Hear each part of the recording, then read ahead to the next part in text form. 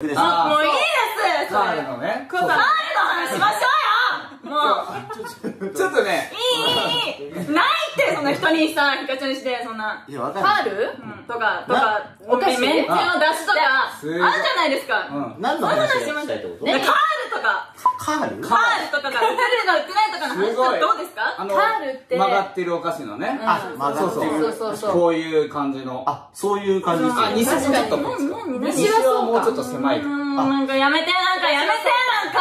こういうああすごい形のお菓子。人差し指も使ったらどう？ああなるほどなるほど。小指もなんであえてそこ難しいよね。中だけでねそうなるってことだから。難しくしてんじゃん。ここういう。ああなるほど。うこうでいいじゃんいや分厚さを表してくれてるんですよ。これがカールいいカール